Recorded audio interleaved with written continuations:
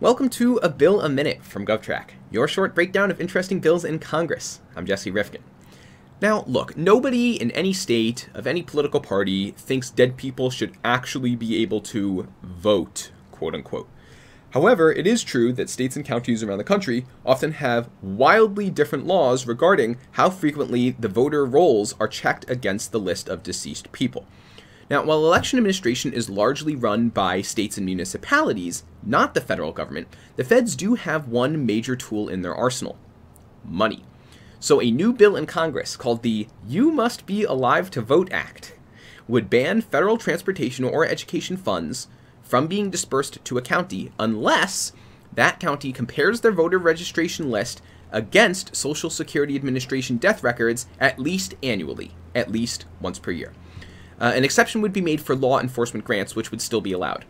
It was introduced in the House by Texas Republican Representative Brian Babin. Now, supporters argued the bill is necessary to prevent voter fraud.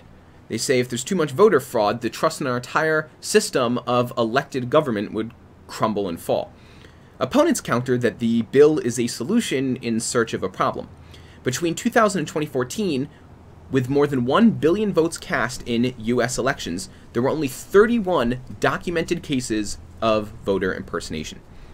Now, I am strongly opposed to voter impersonation, unless that voter is Robert De Niro. You voting for me? You voting for me? Eh.